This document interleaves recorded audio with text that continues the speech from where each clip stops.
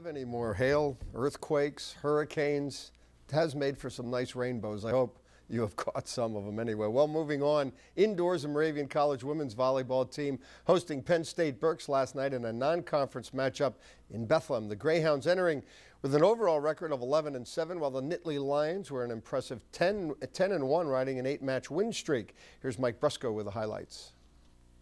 Early in the opening set, Bethlehem Catholic grad Kelly Brown finds junior outside hitter Samantha Savate for the kill, and Moravian takes a 3 1 lead. Later on, it's Brown again, this time to Jean Ann Carey, who hits right through the block to make it 15 8 in favor of the home team. The defense shows up late in the set for the Hounds as Carey and Brittany O'Hara combine for the block, and it's all Moravian. They take the opener 25 11. In set number two, the Lions showcase some effective serving, first from another former Golden Hawk, Rachel Sweeney, and then Emmaus alum Victoria Young. Late in the set, Berks leads 24 to 21 when former Parkland standout Kayla Mosser takes the pass and hammers it home to tie things up at one set apiece. But Moravian would settle in in the third set as this connection between Brown and Katie Moquette puts them up 12 to 8 and if some is good, more is better. A few minutes later, it's the same two hooking up with the same result as Moquette gets another of her 11 kills on the night. Then with Moravian leading 21 to 17 in the third,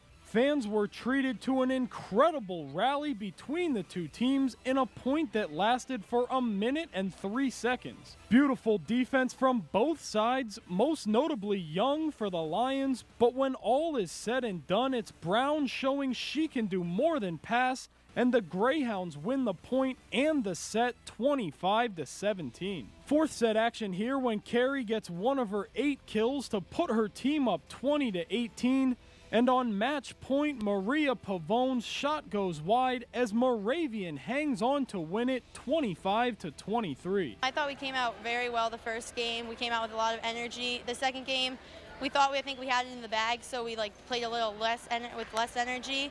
Then the third and fourth game, we knew that we had to come out and win, and we tried our best, and we accomplished it. It's great to get W anytime. Uh, it's parents' night for us, so I'm happy that all of our players played.